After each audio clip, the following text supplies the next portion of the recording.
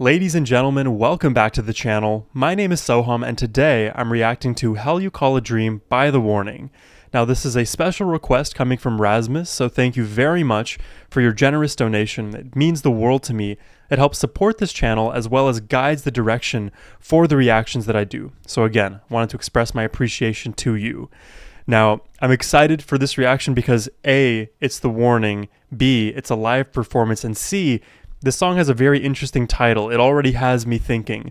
So I'm excited, guys. I hope you are as well. If you're new to my channel and enjoy honest and thoughtful reactions, hit that subscribe button, and let's just jump in.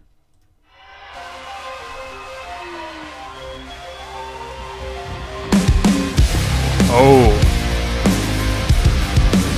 Ooh. Oh, it's already instantly recognizable.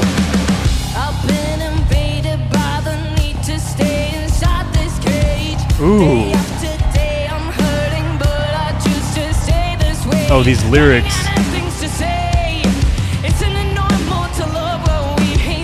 Mm.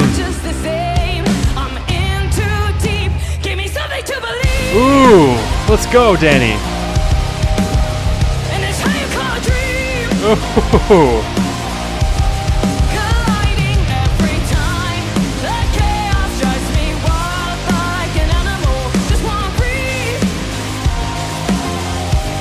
Oh, do you hear the background vocal?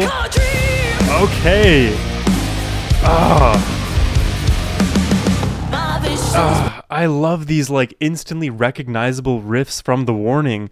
That is just one of the many special things about The Warning is that they come up with such catchy hooks, such catchy riffs, melodies, even lyrics to some extent. I think it's very hard to do that and make them instantly catchy, instantly recognizable. And the warning, they knock it out of the park every single time. I just love that riff. Oh, I'm gonna listen back.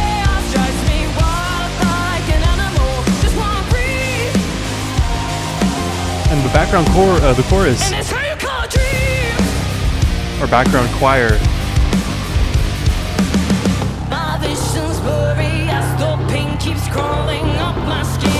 Ooh, okay. building the anticipation.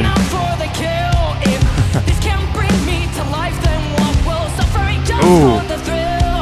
I love the enunciation on her words here. Listen for how she's switching from like a grittier sound to more of a sing-songy sound and then into a more of like a speech kind of sound where she's just is literally talking to us. Do you hear the transitions?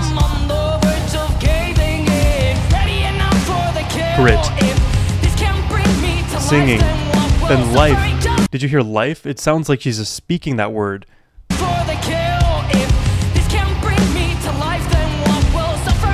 So cool.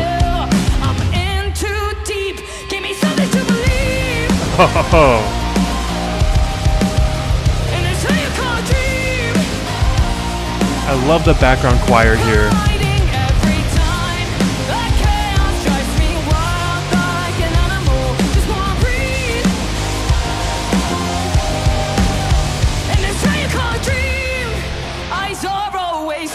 What's happening. Oh, these guitars. Oh, let's go.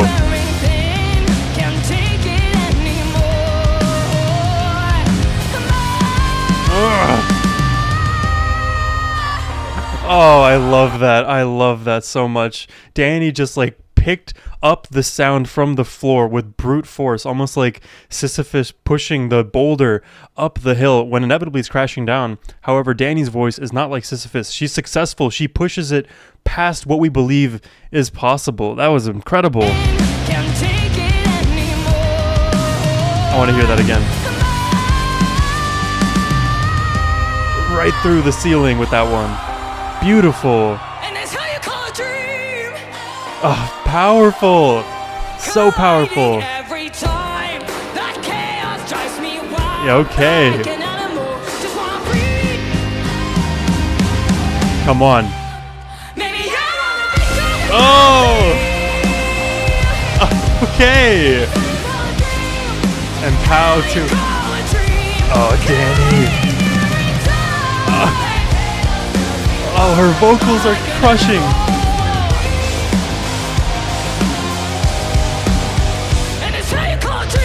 Oh, I love it. I love it.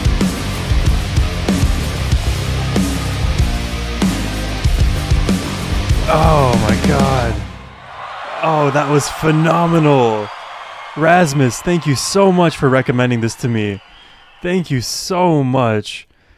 I I absolutely I say this time and time again. I love the energy that the warning bring, but in this track especially in this live performance, I mean Dany, she soared. She just she just captivated me. I feel like every single moment there was just me waiting, building this anticipation. And then Dany takes me to that edge. She actually brings me to that catharsis where I feel like, wow, she hit the note that she's looking for. She made that melody sound good. And then she pushes it two steps further than what I ever expected.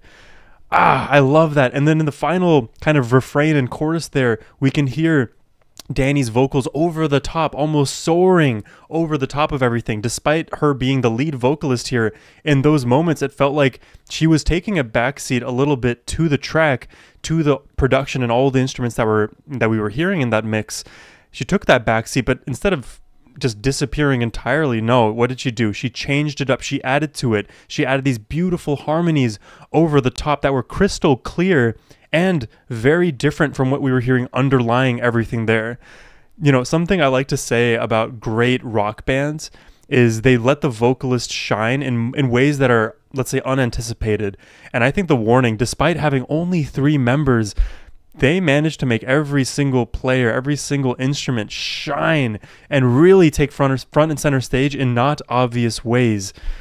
There's so much good that I could say about The Warning in general, but let me just like pinpoint it into this song here love, love, love the riffs, love the vocal melodies, absolutely. And then showcasing Dany's vocal prowess there, shooting through that powerful note, holding it, ascending it, and then ascending it even further.